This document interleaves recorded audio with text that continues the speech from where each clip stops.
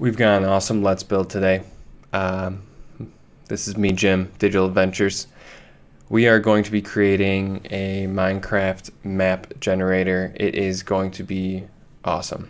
So one of the great things about Minecraft is that it has a world that is generated somewhat randomly, uh, uses an algorithm or a pattern to create really cool, uh, endless worlds. So we're going to do that today.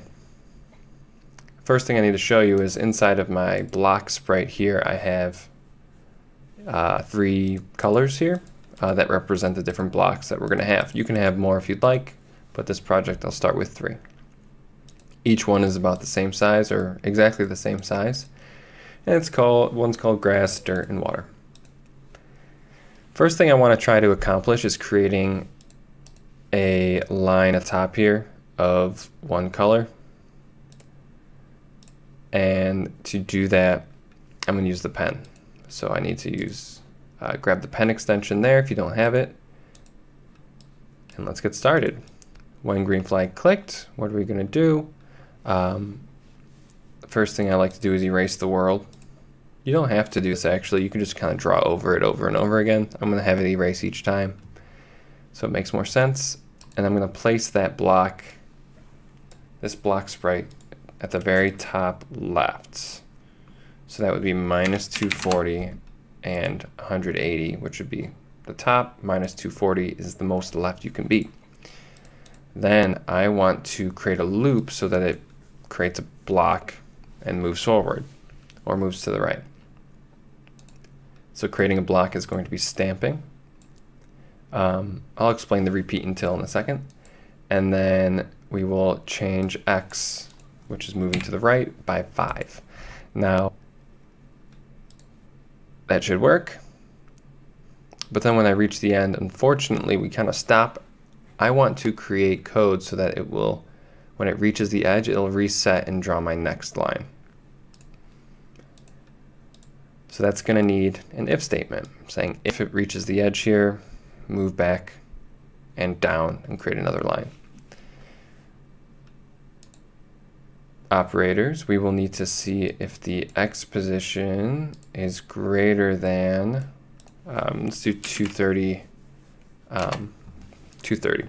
That'll mean that's about the edge. 240 is the true edge, but Scratch is a little weird around the edges, so you have to kind of uh, do lower numbers. Uh, if it's greater than 230, what I want to do is teleport that block, or set x to, minus 240 and then I want to move the y downward. Change y by minus 5. That'll move it down 5 pixels.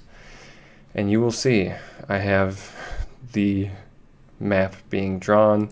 Maybe 230. Maybe we could do 235. What do you think about that?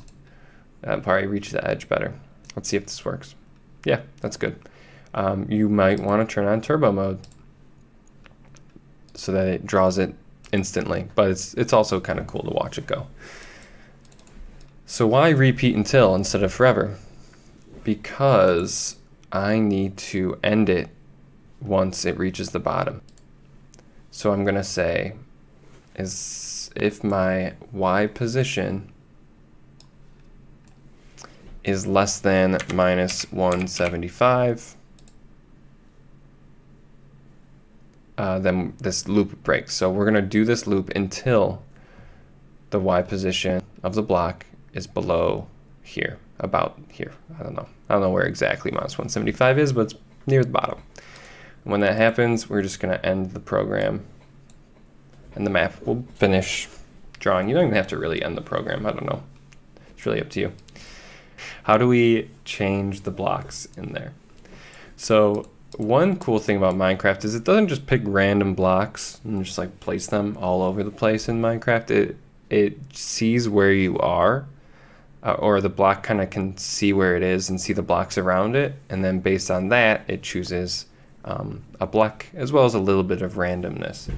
Um, so like water blocks will be next to water blocks a lot of times because uh, you need to create ponds and oceans and stuff. So how do we program that into our project? Well, I'm going to create three variables.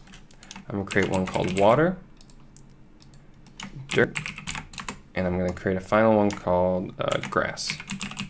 For all sprites is fine. And these three are going to uh, give us scores pretty much. So every time a block goes to get created, we are going to uh, create a score. And whoever has the highest score is the winning block, and that one will be placed down. And it's going to happen very fast. Um, so let's um, get started with that.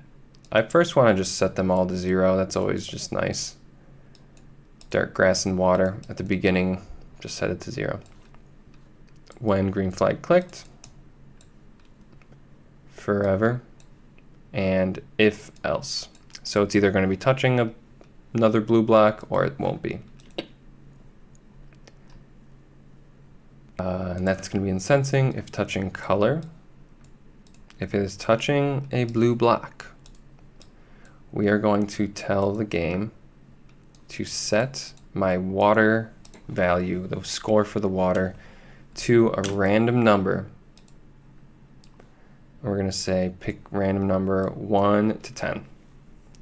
So that's what I'm going to start with. So it could get a score of 1 to 10 if it hits the blue. But if it doesn't, we're going to make it lower. Uh, so 1 to 3 points. So if it's touching blue, it could get 10 points, and that's a pretty high score, and it'll probably be a blue block. But it could also get a 1, uh, be you know a little bit random, and um, not be a blue block. Or water block, I should say. Okay, moving on. After done with, I'm done with water, I'm going to try the dirt.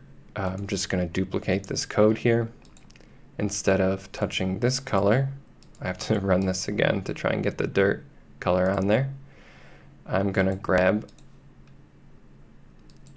dirt there.